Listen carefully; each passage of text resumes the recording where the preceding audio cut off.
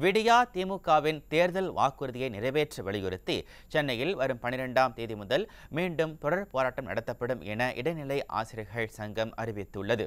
விடியா திமுக அரசின் தேர்தல் வாக்குறுதி முன்னூற்று பதினொன்றின் படி இருபதாயிரம் இடைநிலை ஆசிரியர்களுக்கு சம வேலைக்கு சம ஊதியம் வழங்க வேண்டும் உள்ளிட்டவற்றை வலியுறுத்தி இடைநிலை ஆசிரியர்கள் பல்வேறு கட்ட போராட்டங்களை நடத்தினர். இந்த நிலையில் திருச்சிராப்பள்ளி சமயபுரத்தில் நடைபெற்ற மாநில செயற்குழு கூட்டத்தில் பிப்ரவரி பனிரெண்டு முதல் பொம்மை முதலமைச்சர் மற்றும் பள்ளி கல்வித்துறை அமைச்சர் கொடுத்த வாக்குறுதியை நிறைவேற்ற கோரி தலைநகர் சென்னையில் மீண்டும் தொடர் முற்றுகை போராட்டம் நடத்தப்படும் என இடைநிலை பதிவு மூப்பு ஆசிரியர் சங்கத்தினர் முடிவெடுத்து அறிவித்துள்ளனர்.